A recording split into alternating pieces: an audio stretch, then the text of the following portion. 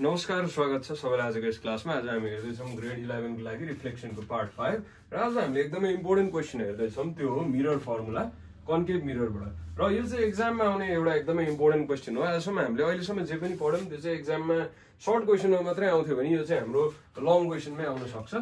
So let's start this class so फर्स्टमा यो diagram मैले बनाउन चाहिँ बनाएँ तर हजुरहरूलाई कसरी बनाउने भनेर गाह्रो हुन सक्छ भनेर म फेरि एकचोटि बनाइदिन्छु है त्यो डायग्राम किनभने डायग्राम कसरी बनाउनु पनि सिक्नु पऱ्यो नि त फेरि. डायग्रामै बनाउन आएन भने त एक्जाममा त काम लागेन।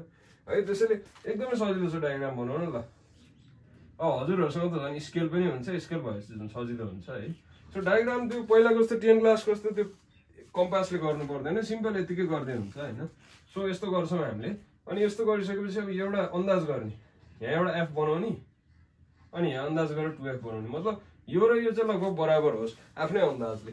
होइन? अनि योभन्दा यतापट्टि एउटा यसरी अब्जेक्ट राखिदिने है? अब्जेक्ट राखेपछि यो तलको लाइनसँग प्यारल हुने गरिकन एउटा एरो बनाइदिने है? यहाँसम्म क्लियर छ।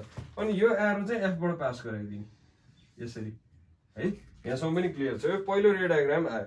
अब दोस्रो चाहिँ कसरी बनाउने भन्दा एफबाट पास गराउने यो यसरी। एफबाट पास गराउने। एफबाट पास गराएपछि फर्किँदा चाहिँ कसरी फर्किन्छ भने यसरी फर्किन्छ। यसरी भनेको योसँग प्यारल भएर फर्किन्छ। है अब अहिले मैले बनाउँदा अलिकति बाङ्गो देखेँ पनि योसँग प्यारल बनाउने हजुरहरूले स्केलले अनि त्यसपछि यो ठ्याक्कै यस बिचमा बन्नुपर्छ। एफ र टुएफको बिचमा बन्यो भने हामीले गरेको मिल्यो। यदि बिचमा बनेन भने फेरि हामीले चाहिँ मेटेर बनाउनुपर्छ। यतिसम्म बनाउन हामी सक्यौँ। अनि त्यसपछि एउटा हामीले यहाँ सानो काम गर्नुपर्छ। त्यो के हो भन्दा? यसरी चाहिँ यस्तो गर्नुपर्छ हामीले। त्यो गरिसकेपछि नामहरू लेख्न त हजुरहरूलाई आइहाल्छ। सो यो डायग्राम चाहिँ हामीले यसरी बनाउँछौँ। है एकदमै सजिलो हुन्छ। ल अब मैले डायग्राम बनाउनु सिकाएँ अब म यसको प्रुफमा जान्छु है त। सो गिभन सिभन त्यो सबै हजुरहरूले लेख्नुहुन्छ। म डाइरेक्ट मेन मेन कुराहरू सिकाउँछु। नम्बर वान हामीले यसमा याद गर्नुपर्ने भनेको सिमिलर ट्राङ्गलको हामीले कन्सेप्ट लाउनुपर्छ। हामीले कुन कुन ट्राङ्गल हेर्नुपर्छ म त्यो पनि अहिले भनिदिन्छु यहाँ। है एउटा हामीले ट्राङ्गल हेर्नुपर्छ एबिएफ एन ट्राङ्गल एफएनओ है अब ध्यान दिएर सुन्नुहोस्। कुन कुन ट्राङ्गल हेर्ने म भन्छु है। यदि यो ट्राङ्गल लियो भने त्यसको अपोजिट यो ट्राङ्गल लिने। जुन यो भर्टिकल्ली अपोजिट एङ्गल्सवाला छ नि यो माथिको ट्राङ्गल लियो भने यो ट्राङ्गल लिने।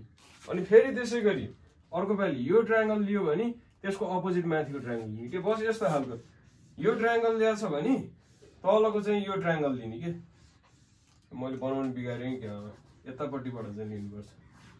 त्यो डायग्राम चाहिँ यस्तो छ क्या यो ट्राङ्गल ल्याएको छ भने यो ट्राङ्गल लिने। अनि फेरि तलको ट्राङ्गल ल्याएको छ भने माथिको ट्राङ्गल लिने। त्यसरी चाहिँ ट्राङ्गल लिनुपर्छ हामीले है। अब सो ट्राङ्गल लिनको लागि एकदमै सजिलो। यहाँ माथिको ट्राङ्गल ल्याएको छ भने यहाँ तलको ट्राङ्गल लिने। सो ट्राङ्गल लिइसकेपछि अब हामीले सिमिलर गर्नुपर्छ।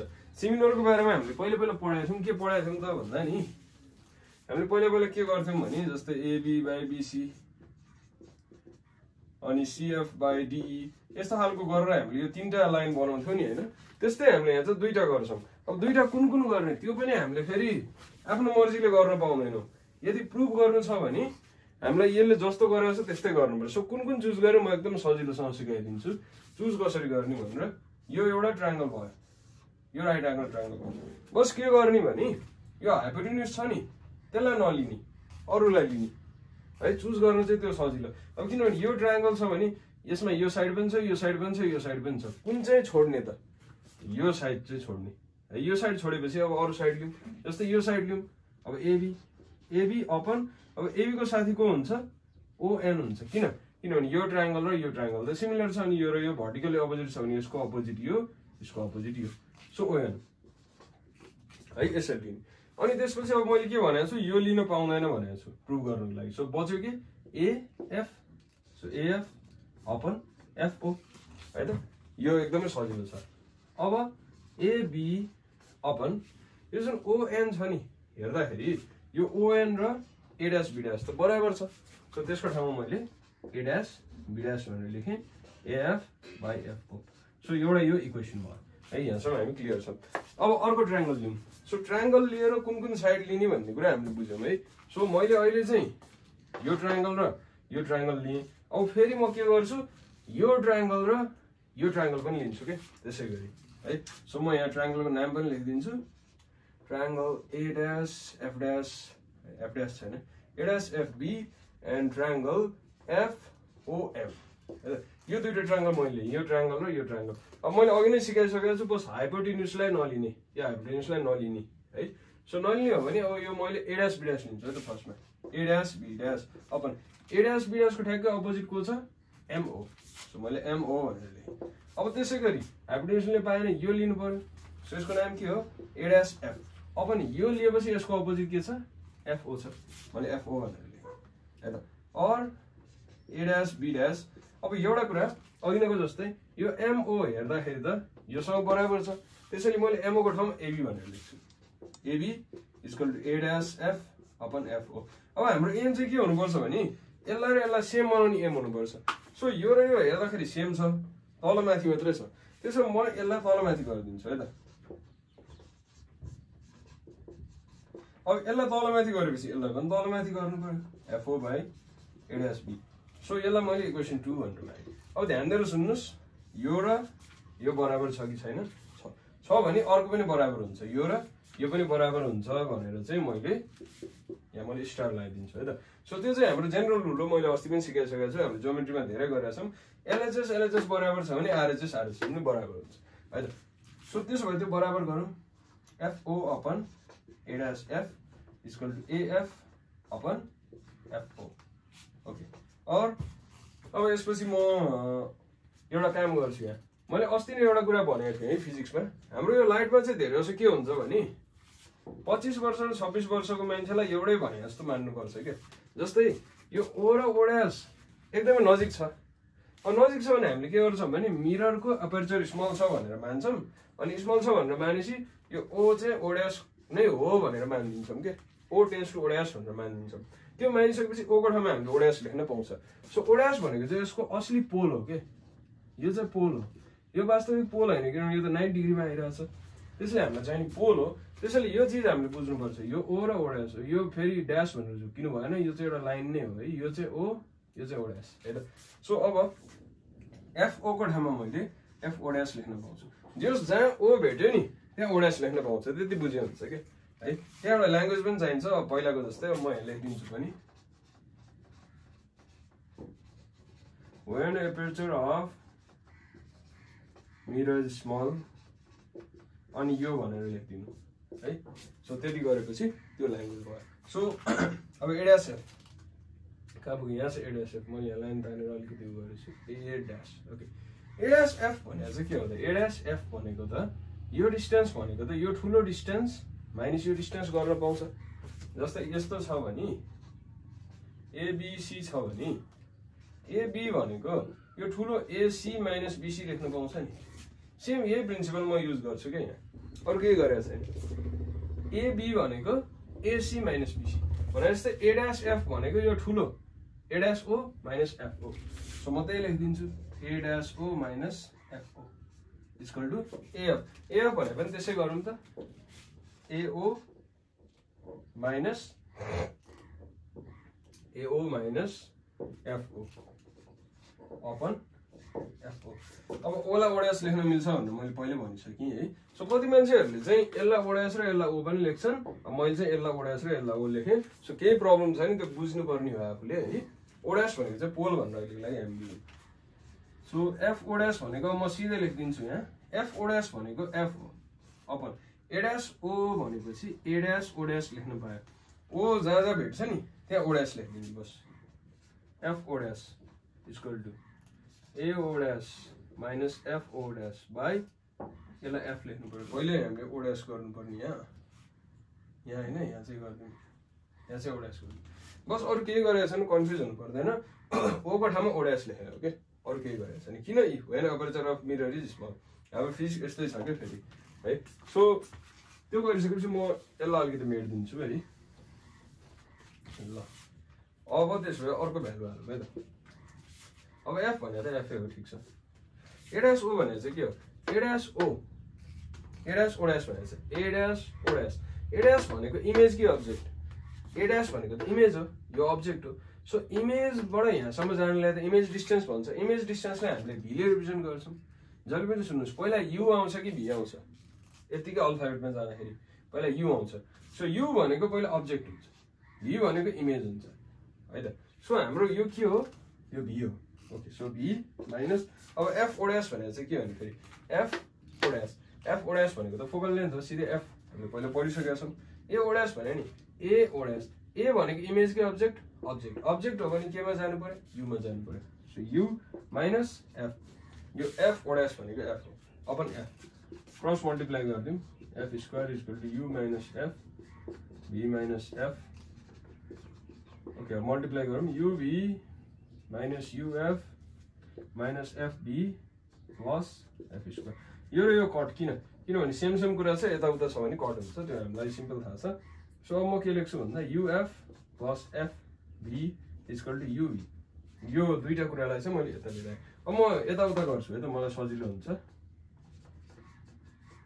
यो चिजलाई टिपेर यता ल्याएँ यो चिजलाई टिपेर यता लगेँ अरू केही पनि गरेको छैन। सो त्यसपछि अब हामीले के गर्छौँ भन्दा डिभाइड गर्छौँ।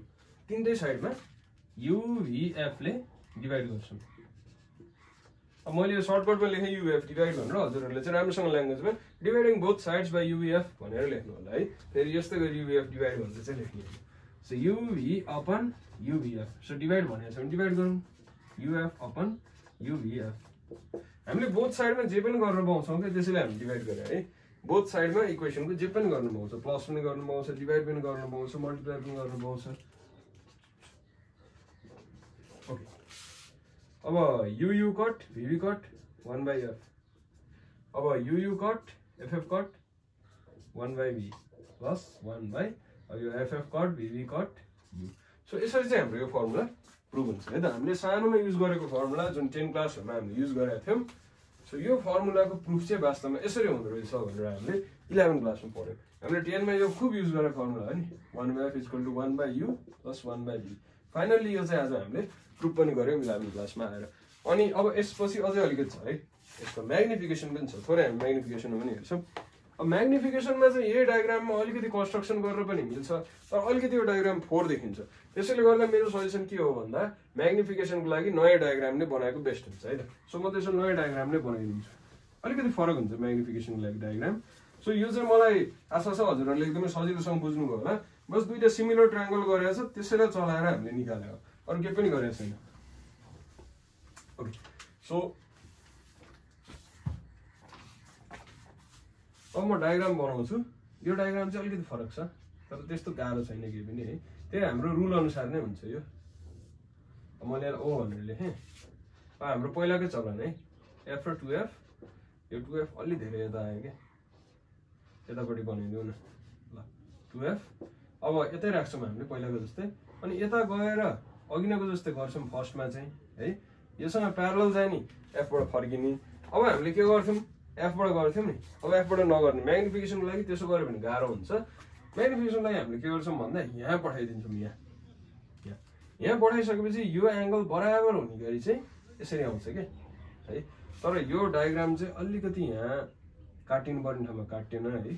थोरै मैले यसलाई मोडिफिकेसन गरेँ। यो बिचमा चाहिँ बन्नुपर्छ क्या त्यसले मैले अलिकति यता बनाइदिएँ। अझ यति गर्दा पनि मिलेन। हो यसरी एडजस्टमेन्ट चाहिँ हजुरहरूले गर्नु गर्नुपर्छ। ल ओके सो यो भयो। है मैले यहाँ एफ लेख्नु पर्थ्यो ल। ल। अब यो मैले गरे चाहिँ किन गरे भन्दा नि यो त हजुरहरूले बुझ्नुभयो। यो चाहिँ के गरे भन्दा यो एङ्गल र यो एङ्गल बराबर हुनुपर्छ कि यसरी पनि हामीले चाहिँ रेड डायग्राम बनाउन मिल्छ। ओबाट गयो भने ठ्याक्कै एङ्गल आएर एङ्गल आर बराबर हुने गरिकन आउनुपर्छ। सो आइसकेपछि यता हाम्रो चाहिँ इमेज बन्यो। है? सो अब मैले एबी लेखेँ भने यसलाई ए ड्यास बी ड्यास भनेर लेख्न पाएँ।